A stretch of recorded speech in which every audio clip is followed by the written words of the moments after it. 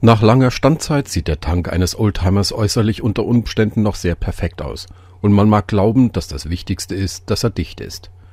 Was innerlich zum Beispiel während einer Ruhezeit vor sich gegangen ist, mag man sich kaum vorstellen. Wer einmal einen Tank inspiziert, der über Jahre gestanden hat, wird erstaunt sein, was er neben altem Benzin vorfindet. Es gibt viele Gründe, die ohnehin dafür sprechen, einen Tank im Laufe eines langen Oldtimerlebens einmal zu überholen und auch innen zu säubern.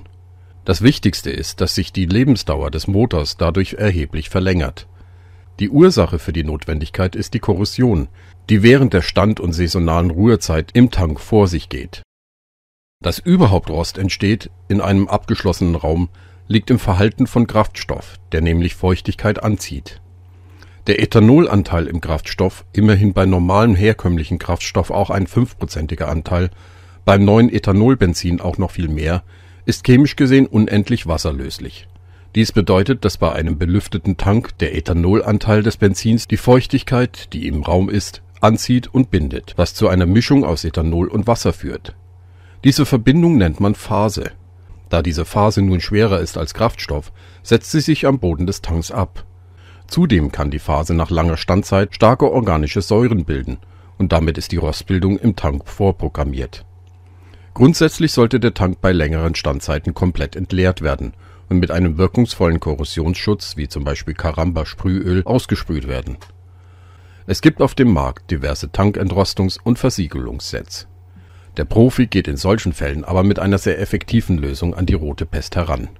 Zur Demonstration wird hier ein Tank getrennt. Diese Technik ist bei schweren Tankschäden unbedingt zu empfehlen, da auch undichte Stellen wieder verschlossen werden können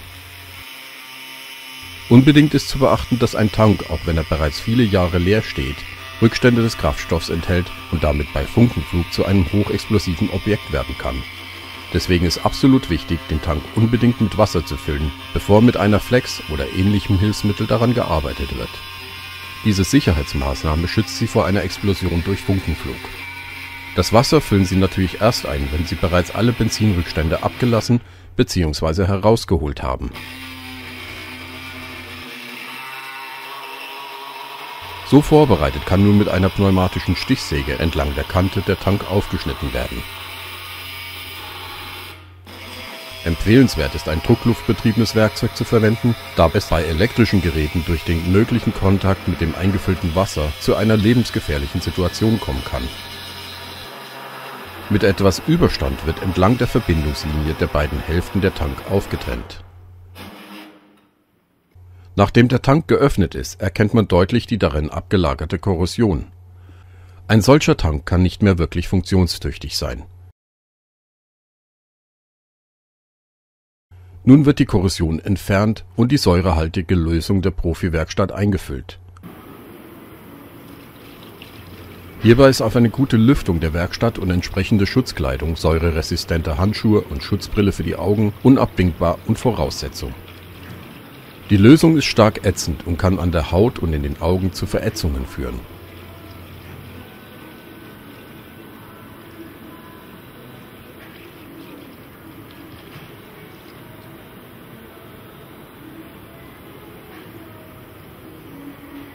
Die Lösung wirkt nun zwischen drei und vier Stunden auf die Korrosion ein und löst alle Rückstände.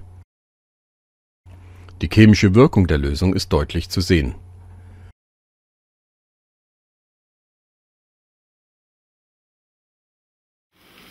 Wenn nun alle Korrosionsrückstände gelöst sind, wird das säurehaltige Konzentrat aus dem Tank entfernt und der Tank mit Wasser gut ausgespült.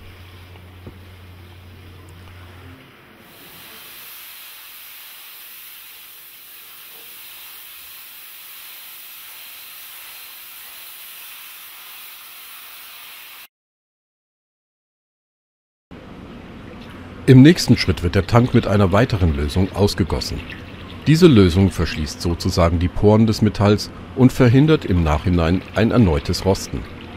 Würde man nur den ersten Prozess durchführen, wäre das Metall innerhalb einiger Minuten nach dem Auswaschen wieder mit Flugrost befallen. Nachdem der Tank getrocknet ist, wird das blanke Metall mit einem Rostlöser wie zum Beispiel Caramba oder einer paraffinhaltigen Lösung ausgesprüht.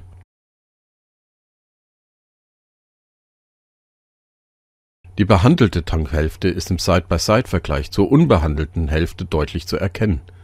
Das Blech weist keinerlei Rostrückstände mehr auf. Nach dem Entrosten sind im Tank oftmals leichte Undichtigkeiten zu erkennen. Der Rost hat das Metall durchgefressen und das Metall weist an solchen Stellen nun Löcher auf. Handelt es sich um kleine Löcher, kann man diese mit Hilfe von Hartlot füllen und von innen verschweißen. Zulässig sind nur das Einlöten von Ersatzblechen oder das Schließen der undichten Stelle mit dem Hartlot-Verfahren. Es dürfen keine Blechstücke herausgeschnitten oder ersetzt werden.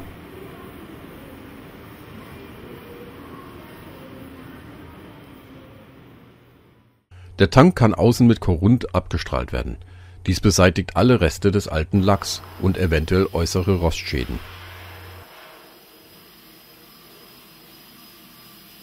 Innen wird der Tank nun versiegelt. Zur Versiegelung darf natürlich kein Fett oder Ölrückstand vorhanden sein.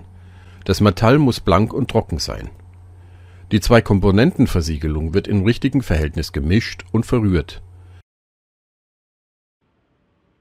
Mit einem Pinsel oder einer Farbrolle wird die Versiegelung entlang der Innenwand des Tanks ausgestrichen. Die Versiegelung soll später den direkten Kontakt des Kraftstoffs mit dem Metall vermeiden Dadurch wird der Tank ganz sicher vor Korrosion geschützt. Die Versiegelung ist so gewählt, dass der Kraftstoff die Versiegelung auch bei dauerhaftem Einsatz nicht lösen kann. Die Versiegelung wird nur kurz bis vor dem Rand aufgetragen. Eventuell muss ein zweifacher Anstrich erfolgen.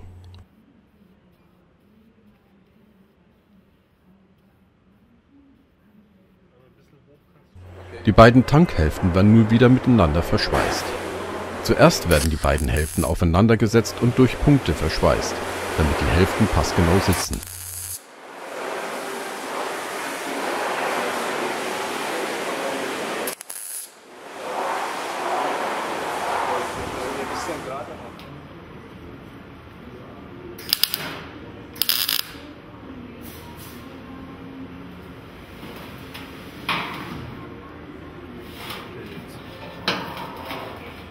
Das abschließende Verschweißen erfolgt durch eine Autogenschweißnaht.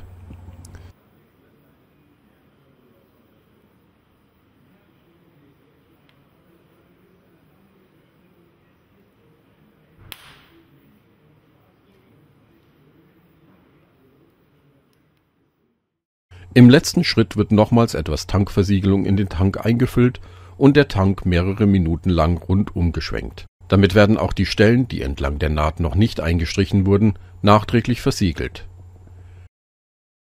Der Tank sollte nun noch einige Tage ruhen und auslüften, bis er wieder in den Einsatz gebracht werden kann. Nachdem die Naht verschlossen ist, kann der Tank einer neuen Lackierung unterzogen werden